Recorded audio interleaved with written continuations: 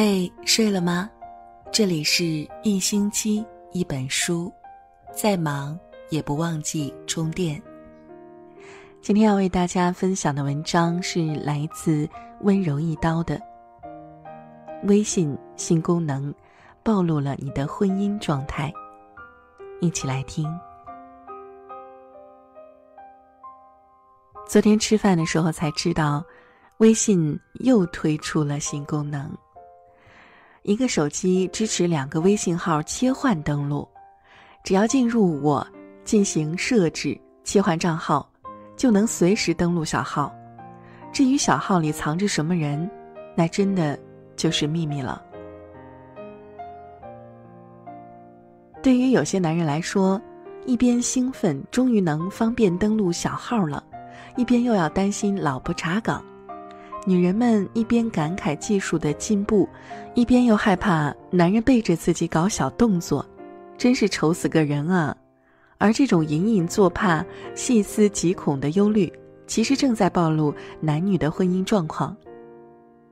一，恐慌型婚姻，越焦虑越难幸福。得知微信推出新功能，韩姐立刻问。这不就意味着老公可以光明正大拿着小号约炮了？她是焦虑的。从三年前结婚到如今孩子呱呱落地，韩姐一直坚持锻炼、健身、化妆、学习，从来不敢放松一刻，唯恐喘息之时老公被勾搭走。前两天她老公公司开年会，在朋友圈发了几张和女同事的合影，韩姐在底下酸溜溜质问。穿这么少还离你这么近，这女的谁啊？吓得他背后凉凉，赶紧解释了一通：“我的上司，大家只是年会一起合个照，况且那么多人在，你别又想多了。”这样的例子多了去了。闻到老公身上有香水味儿，韩姐就大哭大闹，给婆婆打电话，说她在外面一定是有了女人，感叹自己命苦，怨恨婆婆没有教育好她。后来次数多了，两人也争吵对骂。后来韩姐老公干脆不回家，常常夜宿公司。韩姐以泪洗面的日子频率也呈直线上升。金星说过，婚姻是一面最真实的镜子。你对婚姻关系恐慌焦虑，就说明你过得不怎么好。今天微信推出个新功能，你担心老公会变心。明天微信再推出个新功能，你又害怕他背着你找小三，全部精力放在了担忧上，甚至从来不曾认为自己的婚姻是轻松快乐的。长此以往，婚姻只会继续陷入焦虑的苦海，无休无止。第二种，捉奸式婚姻，历经大风大浪，最后啊，败给了查手机。微信新功能一推出来，不少人就预料到了，这注定是女人和手机之间的一场恶战。小雅和大鹏爱情长跑五年才结婚，我本以为老夫老妻应该不信这些子虚乌有的东西，但昨天夜里小雅偷偷告诉我，我查了大鹏微信，没有小号，看来他应该是老实的。前一天，小雅还在为自己的机智。洋洋得意，到第二天，大鹏就感觉到了不对劲儿，手机里的相册少了几张图，微信页面是退出登录状态，连里面一些聊天记录也不翼而飞。你是不是查我手机了？大鹏气势汹汹，隔着电话咆哮：“我也不叫查手机，我只是登录你微信看了看。”小雅死鸭子嘴硬，就是不承认。我里面的聊天记录呢？那可是公司的文件，好样的！我业务都要被你整没了，开心了吗？一天到晚的乱来，大鹏气得肝疼，啪一声挂了电话。小雅傻脸了，还敢挂我电话？敢挂我电话？越想越来气。晚上大鹏一回来，两人都憋着气，饭都没吃完就对上了。大鹏说。我们恋爱五年，结婚也有四年了，你就这么不信我，还去查我手机？小雅说：“我就看看而已啊，怎么不行了？你没做什么亏心事儿，你怕我看啊？”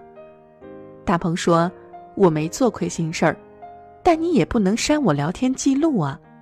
你在家闲的就研究怎么查男人，你够无聊的。”小雅说：“是啊，我无聊，我就要看，我还要天天看呢，我就看你心虚什么。”两人你一言我一语，丝毫不相让。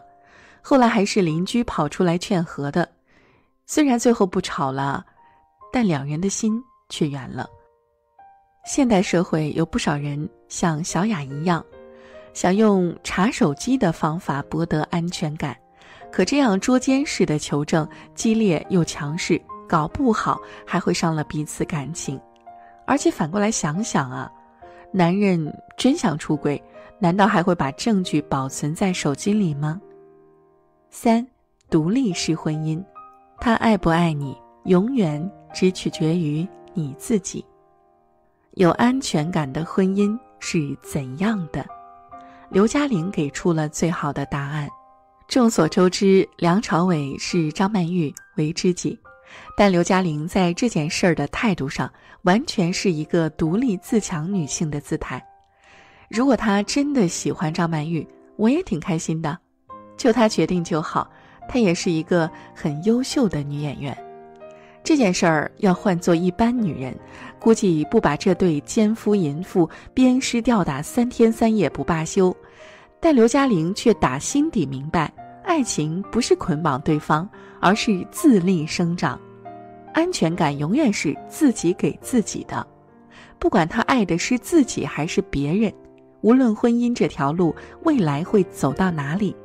女人首先要把婚姻当成锦上添花的一种，独立修行完善自己，而不是把这份感情当成命一样，攥在手里，为他患得患失。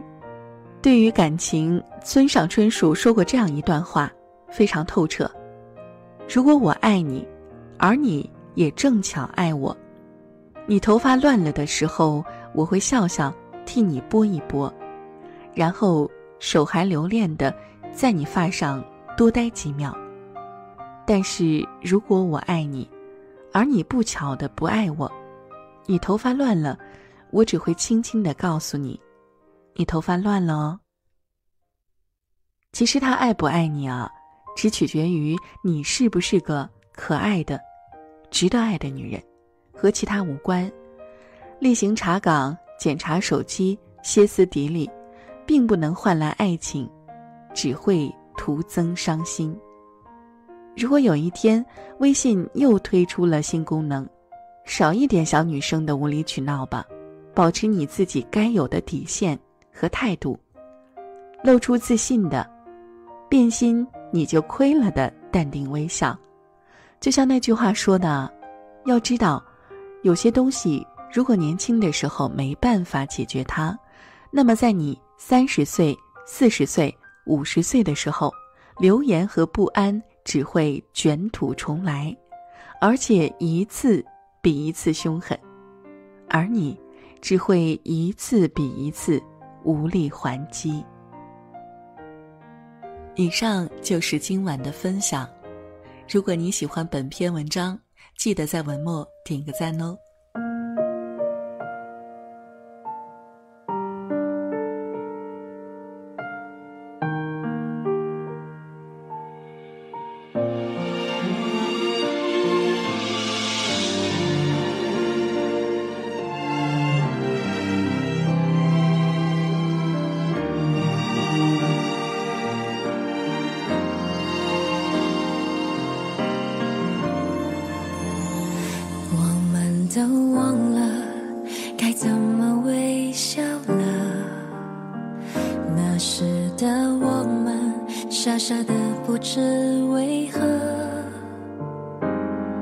时光偷走了什么依然保留一份天真才会让心动交给不期而遇的人。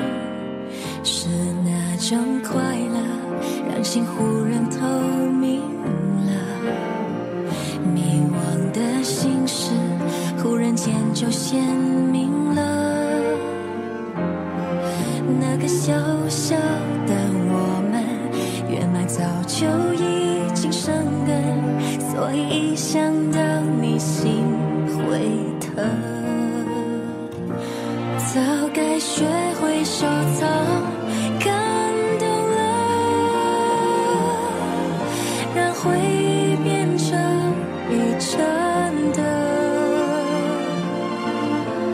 悲伤。